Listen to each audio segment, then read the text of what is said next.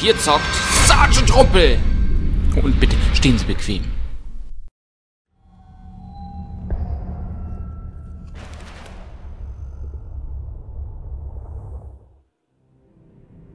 Die Zeit ist gekommen, meine Brüder. Bald öffnet die Teleportkugel denjenigen von euch die Tore, die sich heute auf die Suche nach Ruhm und Reichtum begeben. Und bald schon werden die Namen derjenigen kundgetan, die nach Dragonland vorstoßen. Ihre Namen werden in der Ruhmeshalle für immer, in Stein verewigt sein. Zusammen mit den Namen der Menschen, die unsere Geschichte genauso sehr verändert haben, wie die Explosion des Sterns.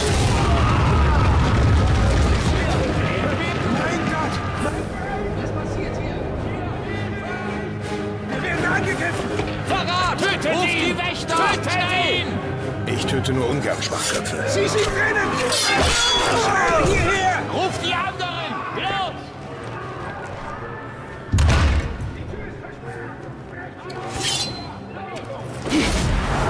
Ayumi, das war ja zu erwarten.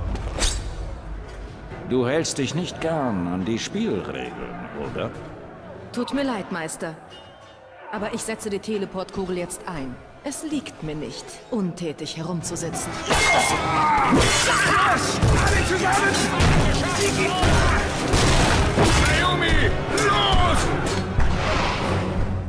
Naja, du hast es verdient. Ich werde dich nicht aufhalten.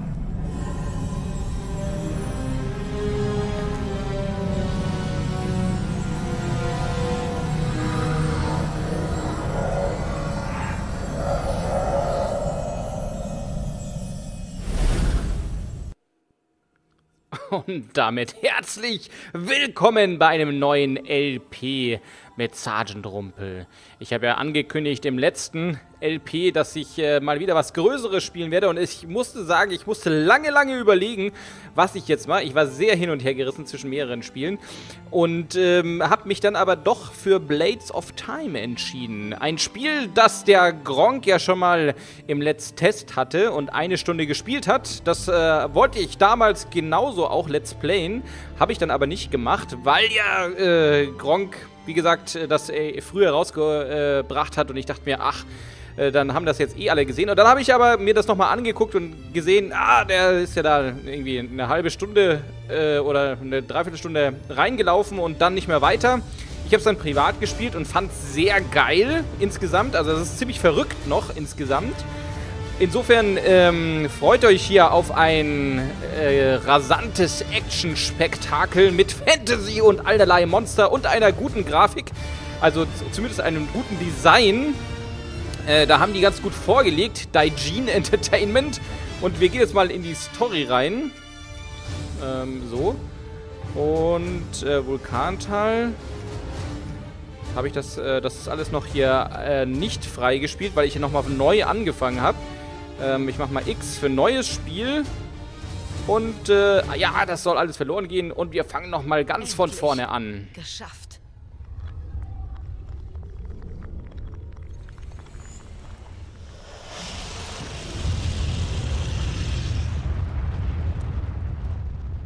Das legendäre Dragonland.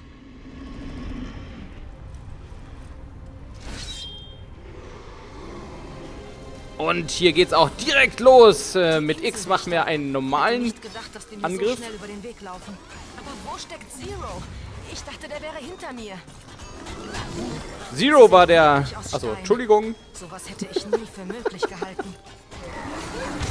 So, bist du jetzt fertig oder was? Nix mehr mit Labern. Dragonland. Das Traumziel eines jeden Schatzjägers. Ich fasse es noch immer nicht, dass ich hier bin.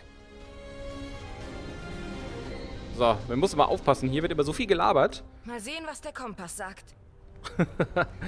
Der Kompass. Also, dann drücken wir doch mal den In Kompass. den Büchern steht, dass eine der Kompassnadeln zum Schatz von Dragonland zeigt.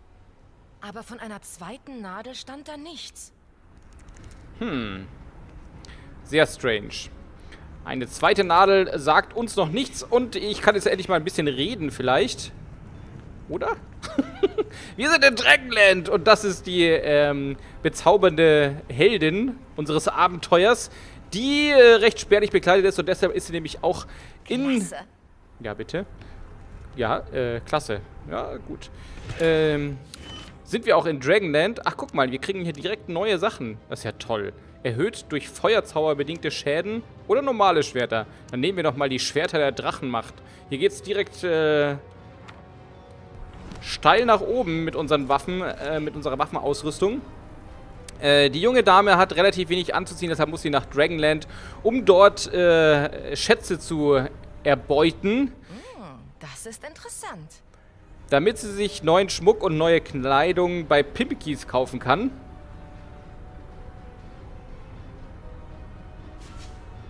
So. Denn wie man sieht, äh, das ist wirklich sehr spärlich. es tut mir leid. Das ist das Spiel. Ähm, ich weiß, das ist sexistisch, aber es ist trotzdem toll anzugucken.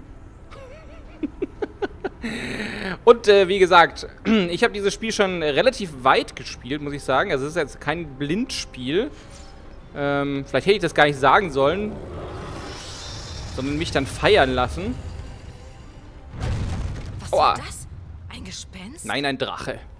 Sich an all das zu gewöhnen, wird nicht so einfach sein. Hier gibt es die seltsamsten Phänomene. Ich Tja. weiß einfach nicht, wo ich anfangen soll.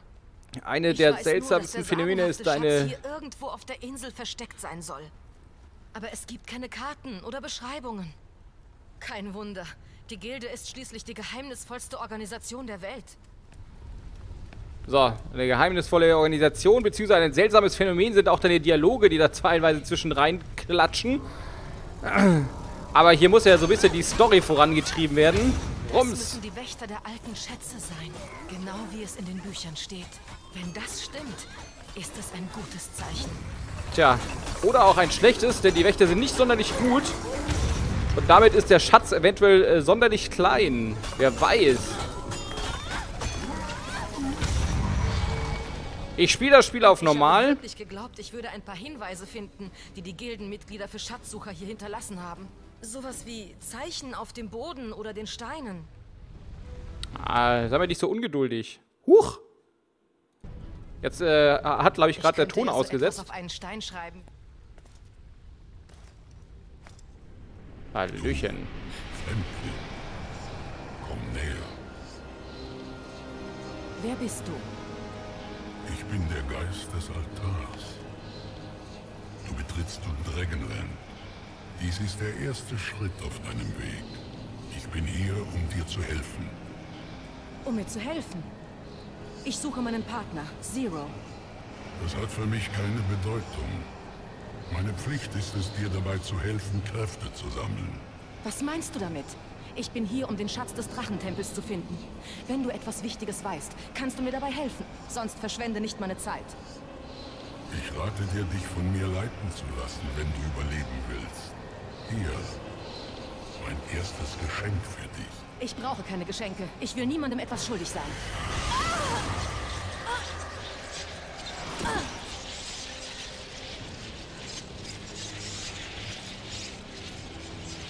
Was hast du getan? Sind wir miteinander verbunden. Ich werde dich auf deinem Weg führen. Mit meiner Hilfe wirst du siegen. Sag, was willst du eigentlich von mir? Ich will, dass du den Weg zu Ende gehst. Ich habe dir die Fähigkeit verliehen, die Lebenskraft besiegter Feinde in dir aufzunehmen. Bring sie dann zu meinen Altären. Und du wirst belohnt. Bist du wahnsinnig? Ich brauche das nicht. Nimm es zurück. Meine Geschenke verpflichten dich zu nichts. Jetzt geh. Aber sieh dich vor. Eine große Gefahr lauert auf dich. Hey, warte! Was für eine Gefahr denn? Ja, da schaut sie sich nochmal um. Verunsichert. Na, toll. Die, es ist echt extrem schwer. Was Ich habe das auch schon bei Gronk Das gesehen. gefällt mir gar nicht. Das ist echt schwer hier zu moderieren, weil die immer ähm, Pausen macht und man denkt, die ist fertig. Und dann redet die doch noch weiter. Also vergebt mir, wenn ich da manchmal hineinrede. Es wird auch besser. Es ist auch, am Anfang ist das nur so. Danach äh, ist das hier Actiongewitter pur. Und äh, meine liebliche Stimme. Wie. Ist ja unerträglich. Hoffentlich führt dieser Weg nicht ins Zentrum der Welt. Wäre ich nicht auf eigene Faust hergekommen, würde ich denken, ich wäre gerade in der Hölle. Aber vielleicht bin ich ja dort. Was passiert hier? Bin ich wieder auf was Neues gestoßen? Oh, oh, da geht Oh die Lava nach oben. Verdammt! Diese alten Orte stecken immer voll Überraschungen. Tja, voll Überraschungen sind deine Dialogschnipsel, meine liebe äh, Ayumi, glaube ich, heißt sie. Ähm, wenn dir so heiß ist, dann zieh doch mal dein Höschen aus. Dann eine kriege ich auch einen Strike, so wie der erwartet. Lauf, Ayumi, und bleib ja nicht stehen. Ah, das ist äh, ein guter Tipp. Guter Tipp. Ayumi, hatte ich recht, dass sie Ayumi heißt. So, Mist. und jetzt? Was ist los? Das kann nicht wahr sein. Das bin ja ich. Den Witz finde ich aber gar nicht lustig. Die Dialoge sind echt nicht so gut irgendwie. Dafür ist die Action umso besser. Selbst das Feuer ist komplett bewegungslos. Wahnsinn! Unglaublich.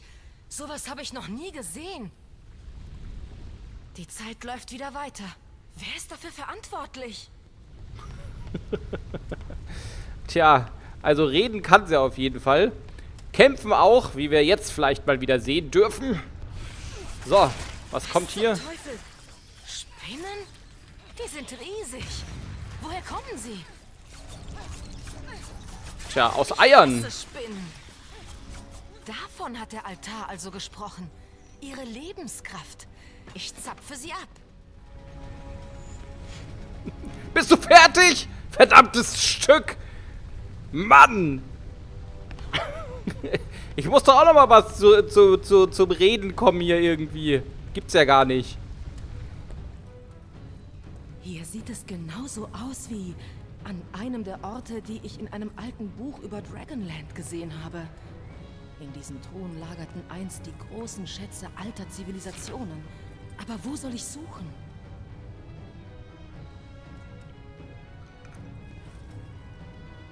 So, ich habe was getrunken. Gestern stieß unsere Gruppe nach Dragonland vor.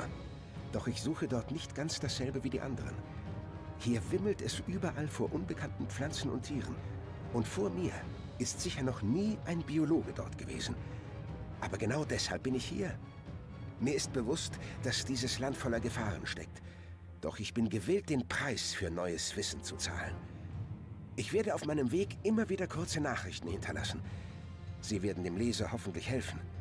Edward Boyle, Autor der Zeitschrift Eigenarten der Natur. Das ist auch das Sinnvollste, was man machen kann, wenn man irgendwo neu in einem Land unterwegs ist, einfach mal wahllos irgendwelche Zettel irgendwo zu hinterlassen. Für Leute, die danach kommen. Sieht wie ein großer Schalter aus. Was wohl passiert, wenn ich da drauf trete? Tja, was passiert da wohl? Wir sind in einem Computerspiel, wo der Hauptheld bist. Was denkst du denn? Ja, das ist ganz sicher der Schalter. Das Jupp. muss der Türschalter sein. Und zerplatzt. Diesen hier, der ist ja fast so ein bisschen imbar. Dieser, ähm, Move. Damit kriege ich die auf jeden Fall diese Wächter relativ easy weg. Später wird das auf jeden Fall noch wesentlich schwerer. Wie gesagt, ich habe das Spiel schon mal ein bisschen gezockt. Die Wächter sind irgendwie mit diesen Dingen verbunden. Aber was bewachen die eigentlich, wenn all die Kisten leer sind? Nächstes Mal schlaft ihr besser weiter. Ja, das stimmt wohl. Das bringt ja überhaupt nichts. Jetzt kann ich hier auch inzwischen meinen Finishing-Move mal machen. Auch eine sehr nette Sache. Kann man auch bei den Wächtern machen. Hier, zack. Mmm, lecker. Einmal auf den Bauch gesprungen. Dieser Spinne. Das sind wirklich sehr haarige und stachelige Spinnen, muss ich sagen. Habe ich so in anderen Computerspielen noch nicht gesehen. So, wir sammeln hier nochmal ein bisschen die Lebenskraft der erlegten Holzfässer auf. Und laufen weiter. Ich glaube, wir können jetzt hier durch. Yeah! Ein Vulkanausbruch muss die gesamte Zivilisation zerstört haben. Ah, es sieht schon sehr geil aus, finde ich. Also das, das Leveldesign haben die echt super gemacht hier. Sieht einfach nur hübsch aus. Und wenn man sich jetzt mal hier die ganzen Felsen anguckt, ist schon super. Also das ist ja nicht sehr hochpolygon, ne? Die Insgesamt. Farbe dieser Blumen macht mich nervös. Was? Verdammt. Wer zum Teufel seid ihr denn? Nein, nein, nein, bleibt weg. Kusch, raus hier. Geht wieder dahin, wo ihr hergekommen seid. Oder sterbt. Je nachdem, was ihr äh, lieber wollt. War auf jeden Fall schon ein neuer Gegner. So, was ich gerade sagen wollte. Huch, aua. aua, aua was? Ich bin gerade an einem Lava, kleinen Lavafluss gestorben. Das kann nicht dein Ernst sein. Die, die habe ich nicht mehr gesehen, Ein diesen... Muss die gesamte Zivilisation zerstört Ja, das kennen wir doch schon. Das kennen wir doch schon. Das war jetzt doof. Aber, ähm, hier, äh, das ist nicht sehr hochpolygon, aber mit diesen ganz tollen Technologien, die wir heute ja haben, die sie entwickelt haben, ähm, wie zum Beispiel Bump Maps oder Normal Maps, äh, sieht das natürlich schon alles sehr fein aus, muss ich sagen. Wer zum Teufel seid ihr denn? Nein, nein, nein, bleibt weg. Kusch, raus hier. Geht wieder dahin, wo ihr hergekommen seid. Oder sterbt. Ja, das hatten wir auch schon mal. So, zack. Wieder ist er tot. Diese äh, Blumen, die werden später noch sehr wichtig werden. Kann ich schon mal verraten. Und hier zerstören wir nochmal so ein bisschen, ohne in die Lava zu treten, Kistchen. So. Also die Shader und so weiter haben die echt super schön gemacht, finde ich. Bei diesem Spiel, das ist natürlich nicht alles naturrealistisch, sondern es hat so ein bisschen, ähm, Wer in aller Welt stellt bloß diese magischen Barrieren auf? Der Altar?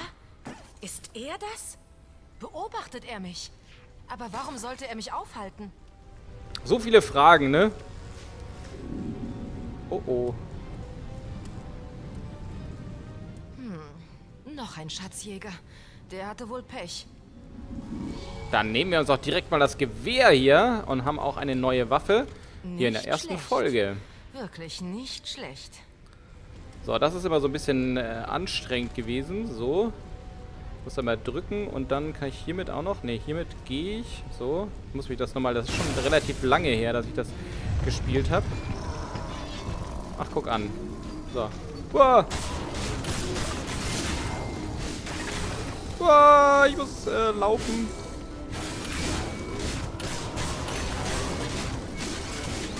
Nachladen. Wie kann ich jetzt eigentlich diese Waffe wieder wechseln? Huch, das sah so aus, als wäre gerade der, der Torso weg gewesen. So, Zielübungen. Yeah. Noch einer. Diese Steinritter, die haben es echt nicht so drauf. Zack. Im Schießmodus nachladen mit X. Das ist gut zu wissen. Und wir machen jetzt mal hier so ein bisschen Zielübung. Rums. Äh, nee. Ich finde mit dem Gamepad, ich spiele das mit Gamepad. Ich spiele zwar auf dem PC, aber mit Gamepad. Wieder mal, mit meinem tollen Xbox Gamepad. Ähm, aber mit dem zu zielen ist ja immer so ein bisschen schwieriger als mit Maus. Dafür ist der Rest dann wesentlich einfacher mit dem Gamepad. So, jetzt haben wir wieder unseren Schwert. Wir müssen jetzt eigentlich hin wieder zurück. Hier sind ja überall Lava und Feuersbrünste. Da können wir mit unseren ähm, Feuersbrüsten nicht durch. Da haben sie ja auf jeden Fall auch äh, ein bisschen übertrieben, finde ich, an der an dem Hauptcharakter. Da hätte es auch eine Nummer kleiner getan. Sieht der etwa Grimassen? Nix da. Der will ja an die Wäsche, will der. An die gute Pimpki-Wäsche. So. Du bist auf einen neuen Feind getroffen. Und der hat dich nicht getroffen. Ist der tot? Ja, er ist tot. Gott sei Dank. So, wieder zurück zu den Schwertern und die Keramik hinüber machen. Also ich finde ähm, diese... Wer es sind Schlauchlevel... Schnauze jetzt! Ich will moderieren! Das war echt auch schon... Huch! Muss ich jetzt mal ein bisschen aufpassen hier. So, nix da. Ihr fliegt jetzt mal in alle Ecken hier. So, weg.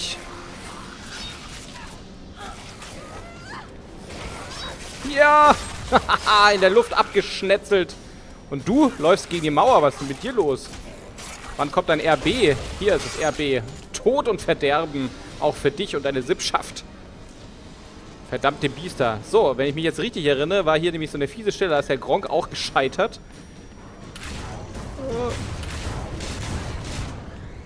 Ah, Gamepad zielen, ich hasse es. Irgendwo gab es doch auch mal eine, eine Taste, war das nicht? Genau, Zoom konnte ich auch noch. So, das ist schon mal ein bisschen einfacher. Oh, und jetzt sehe ich nichts. Muss ich immer nur in Bewegung bef befindlich sein. Das ist das größte Problem. Oh, komm schon. Oh, jetzt muss er nachladen. Na gut. Immerhin bin ich noch nicht gestorben hier. Fast aber. Oh oh, jetzt wird's anstrengend. War hier nicht? Ja. So, ich habe mich nochmal gerade geheilt. Das geht nämlich auch. Komm her. Den ersten tot. oh, jetzt sind sie wieder abgehauen. das kann ich auch noch machen hier. So ein äh, Schnellmove. Der ist auch noch sehr cool. Zack. Und noch den letzten Cousin hier. Auch die Monster sind sehr gut animiert. Und übrigens die Kampfanimationen, das können die natürlich einfach. Wenn die hier überall auf der Insel sind, weiß ich nicht, was ich dagegen tun soll. Ja, was denn? Mir nicht gewettet. Zero Was verpasst wohl? den ganzen Spaß. Wo zum Teufel steckt er nur? Was dachtest du denn, dass du nach Dragonland kommst und das hier alles ein Spaziergang oder was? Muss schon was tun für sein Geld, das man bei H&M ausgeben möchte. So, RB. Und wir sind jetzt so allmählich hier aus dem Tutorial-Bereich raus. Jetzt wird es allmählich schwieriger. Menschen! Zero könnte hier irgendwo sein. Los, Leute! So, hier nochmal erstmal Keramik kaputt gemacht. Und jetzt kommst du dran. So, Ugh, wie widerlich. So, jetzt müssen wir erstmal hier schnell weiter. Die legen immer hier so Eier, so widerliche. So, und haben wir noch eine? Ja. Und da musste man immer aufpassen, die legen nämlich Eier, diese Viecher. Und dann ähm, kommen wieder neue und die legen auch wieder Eier und die auch wieder. Und dann äh, hat man hier plötzlich eine Herde von, von Spinnen am Start. Wer So. braucht denn so ein riesiges Tor? Tja, das ist eine gute Frage, liebe Ayumi. Hier ist der Wieder Altar. der Altar. Was wartet diesmal auf mich? So, was können wir denn wählen? Wir dürfen Geschenke wählen. Geschenke sind immer gut. Kältestarre, Brand. Ach, es gibt nur Kältestarre oder Brand. Also, setzt vor dir stehende Feinde in Brand. Ja, das hätte ich ja nie erdacht. Lässt dein Ziel erstarren, macht es bewegungsunfähig und verursacht Schaden. Hm, das klingt doch super. Zum Objekt preschen. Ermöglicht, ermöglicht zu fliegenden Korallen zu preschen. Ja, das will ich auch haben. Die fliegenden Korallen, das sind los? diese Blumen. Wo Huch. bin ich? Dies ist deine erste Prüfung. Du lernst deine neuen Fähigkeiten einzusetzen. Es wird Zeit, anzufangen. Du meinst sofort? Ja, sofort. Spitzendialoge, Leute. Sehr gut. Also, erziele Totenköpfe. Das macht man, indem man hier die äh, Jungs wegschnetzelt. Ihr seht rechts oben in der Anzeige, äh, links oben, Entschuldigung, das andere rechts. Links oben in der Anzeige, wie sich so eine kleiner, so ja, so ein kleiner Balken auflädt. Und dieser rote Totenkopf, der da ist, den äh, muss ich... Oh, jetzt habe ich Ach so, jetzt habe ich das einmal voll gehabt, jetzt lese ich das einfach nochmal wieder auf. So, was muss ich jetzt machen dann? Drücke B und Y. Feuere so lange auf das Feinde, bis er... na. Achso. Oh, Hallöchen. Das äh, hatte ich nicht mehr so ganz in Erinnerung. Aber ich wusste, dass es noch so Sp- Special Moves gab. Und die sind natürlich sehr cool hier. Guck mal, äh, das, das, das können die, Japaner natürlich einfach hier so. Ähm, nee, so. Wieso geht das jetzt nicht mehr? Habe ich jetzt noch nicht, ähm, was? Wieso geht das nicht? So, jetzt nochmal. Also, erziele, drücke B und dann Y. Was muss ich jetzt gleichzeitig drücken? Nee, wieso geht das jetzt nicht? Verstehe ich nicht.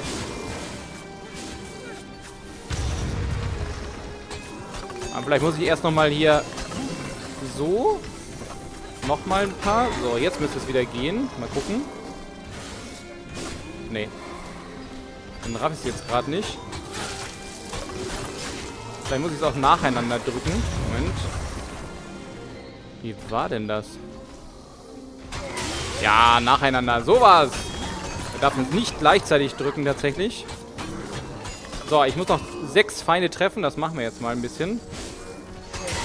Roms! Wie die schön durchgeschnetzelt werden. Das ist so ein Vogel oder sowas, der da entlang fliegt. Oh, der ging schon so kaputt. Mal ein bisschen aufladen. Da haben wir unseren Totenkopf. Und... Roms! Ich finde äh, diese Effekte, und da kommen noch wesentlich mehr, äh, die sind einfach sehr gut gemacht bei dem Spiel. Da kann man nichts sagen. Auch die Steuerung geht unglaublich flüssig von der Hand. Macht also richtig Laune. So, jetzt müssen wir nur noch... Wuhu! Zwei Feinde müssen wir noch treffen. Ein Totenkopf hier. So. Oh, falsche Richtung. Außerhalb der Kamera, das konnte man nicht mehr sehen. Jetzt aber. Roms! Ich glaube, damit haben wir es hingekriegt, ne? Da fliegt noch der... Das ist kein Vogel, das ist ein Drache, glaube ich. Das war stark. Die Altäre sind also Kraftquellen. Abgefahren. Abgefahren. Abgefahren ist voll das neumodische Wort. Das passt hier gar nicht in diese Fantasy-Welt rein, finde ich. Aber die äh, Japaner sind ja immer so ein bisschen, ähm, ja, kleptomanisch, was das anbelangt. Die klauen sich aus allen möglichen Bereichen. Sachen zusammen. dachte mir schon, dass das keine normalen Blumen sind. Ich sollte sie benutzen, um da hochzukommen. Ei, ei, Ayumi. Also, LT, muss ich nochmal hier... Uah, was? Nein, nicht schon wieder so ein... Uah. Oh, dieses Zielen, das macht mich so fertig.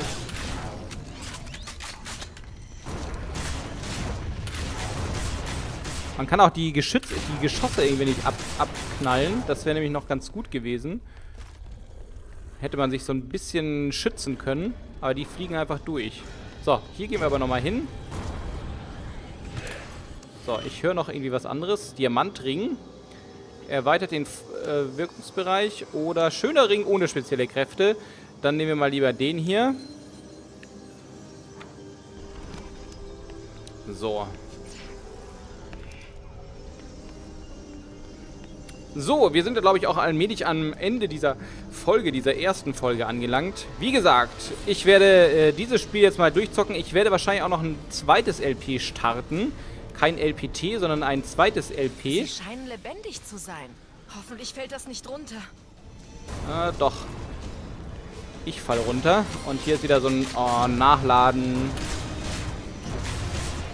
Na, komm schon. Da war es um sie geschehen. Um die Koralle, um die fliegende. So, ich werde noch ein zweites LP starten, aber äh, ich hatte mal Bock wieder... Huch, nein! Ah, damn it. Bin runtergefallen.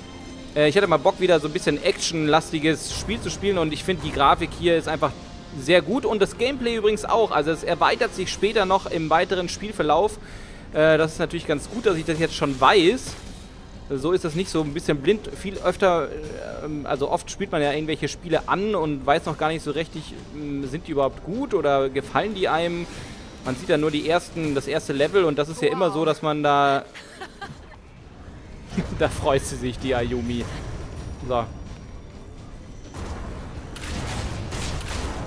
Ah, diese, diese Sch- Schießaktion, die machen Nerven.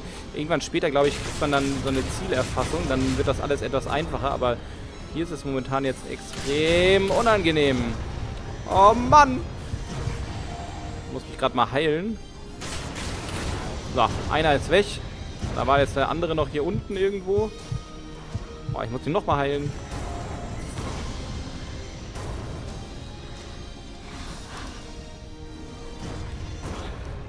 Nimm deine Scheißwaffe. Ich krieg die Krise hier. Man kommt überhaupt gar nicht. Ach komm, scheiß drauf. Den lasse ich jetzt mal hier so. RB, ich fliehe einfach. Ich lasse die eine Pflanze da stehen. Das Einzige, was ich so ein bisschen anstrengend finde. Vielleicht öffnet der Schalter das riesige Tor. Ja, vielleicht. Vielleicht auch nicht. Jedenfalls äh, kommen da später noch äh, relativ viele Gameplay-Elemente rein, die ich relativ cool finde. Außerdem auch verschiedene Welten, die alle sehr schön designt sind. Insofern äh, hoffe ich, dass ihr dabei seid ähm, und hier dieser hübschen kleinen Ayumi zuguckt, wie sie mit Steingolems kämpft und alle möglichen anderen Sachen abfährt. Zum Beispiel ihre Special ähm, Sachen, wie das hier. Bam! Das ist schon sehr cool. Also Kampfmoves findet man so leicht, so schnell nicht in einem anderen Spiel, finde ich, die da rankommen. So, haben ihn mal eingefroren und weg. Tot. Ich glaube, jetzt ist hier alles ruhig und ich kann Folgenstopp machen. Insofern freut euch auf die nächste Folge von Blades of Time. Bis dahin, ist Sergeant Rumpel.